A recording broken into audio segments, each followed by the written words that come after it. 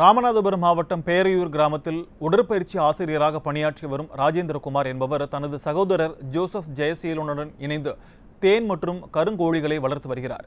தேனீக்கள் மூலம் சுத்தமான கருப்பு தேனை எடுத்து அவர்கள் விற்பனை செய்து வருகின்றனர். இதன் மூலம் நல்ல லாபம் கிடைப்பதாக ராஜேந்திரகுமார் தெரிவித்தார். விவசாயம் சார்ந்த தொழிலான இந்த தேன் வளர்க்குறது. அப்புறம் நாட்டுக்கோழி.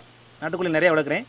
பட் வந்து இந்த கருங்கோழின்ற சொல்ல சொல்கிற கோழி வந்து கடக்நாத்தின் பேர். இது வந்து ஆந்திராவிலேருந்து கொண்டு வந்து வளர்க்குறேன் இது மருத்துவ குணம் வாய்ந்தது.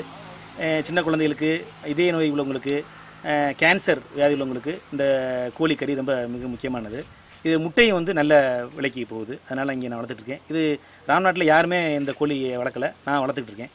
இதன் மூலமாக நல்ல லாபம் இருக்குது இது போன்ற முக்கிய வீடியோக்களை உடனுக்குடன் தெரிந்து கொள்ள நியூஸ் ஜே யூடியூப் சேனலை சப்ஸ்கிரைப் செய்யுங்கள்.